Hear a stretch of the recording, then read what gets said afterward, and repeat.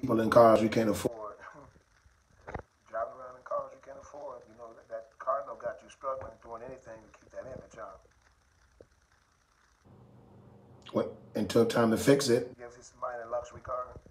Never got no money, might be renting a room, room dirty, whatever it is, keeping it 100 with you.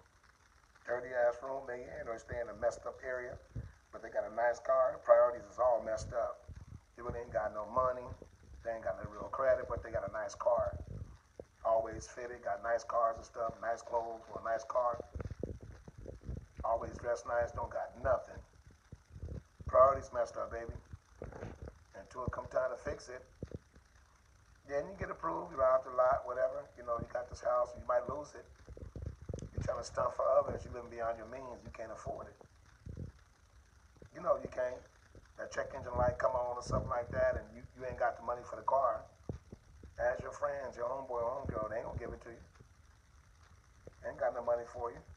You picking them up, going to the club with them, flossing y'all up and down the street, top down, music blasting, got the latest music playing, and you broke you putting 87, 86 gas in your car to take 91. Ain't you in the Benz?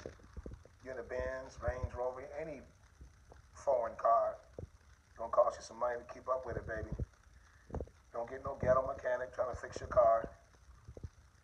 You can't afford the car. Next, they're gonna repo it.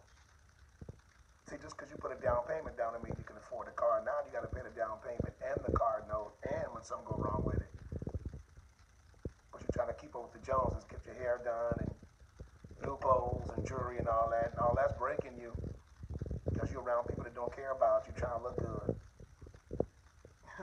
see it every day, man. I know y'all see it every day. You better get your priorities together before it get too late. Some of y'all in your 30s, 40s, and 50s and 60s doing it. You should have been at that taken care of. You know you can't afford that car.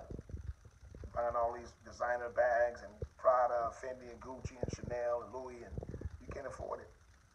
You might be taking it back after the concert, too. You know how you see all these people fitted at the concert, after the concert, the next day they take it back. That means you ain't got it, trying to look good. Beware of those trying to look good, man. Normally this stuff ain't together. Your boy Black Nate DeBiase 523. Like and share these videos. Peace out.